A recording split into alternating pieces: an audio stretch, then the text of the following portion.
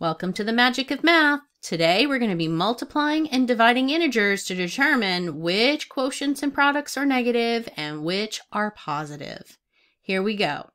We're asked to drag and drop each expression into the appropriate box to identify whether its value is negative or positive. So I'm going to ask you to pause the video here, determine where each of these six mathematical expressions would go, which category, Come back and hit play when you're ready to check your work. Good luck! Welcome back. So let's review our rules. We're talking negative or positive, and we can see that we have multiply, divide, multiply, divide, multiply, divide. So we're talking about products and quotients. Well, when we have a negative value, that means we've had two values with different signs. So meaning a positive times a negative or a negative times a positive, same thing with division.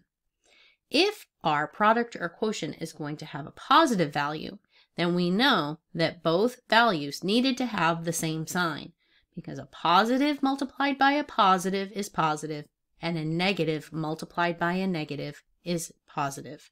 And that works for division as well. So let's move these up. So we're again, negative value, we're looking for different signs. And if they have the same sign, we know they'll have a positive value. We start with our first, negative 2 multiplied by negative 4. Both values are negative, meaning they have the same sign, so we're going to relocate that right here. Negative 2 times negative 4 will have a positive value. Next one, a positive 8 divided by a negative 2. Clearly, a positive and a negative, different signs. We're going to relocate that division here. 8 divided by negative 2.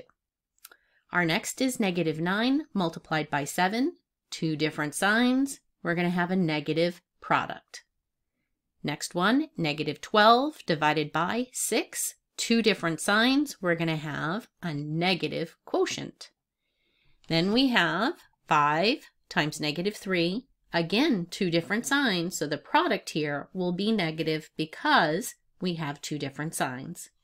And then our last, negative 14 divided by negative 2, both values are the same sign, they're both negative, so our quotient here would be positive because they have the same sign. So there you have it.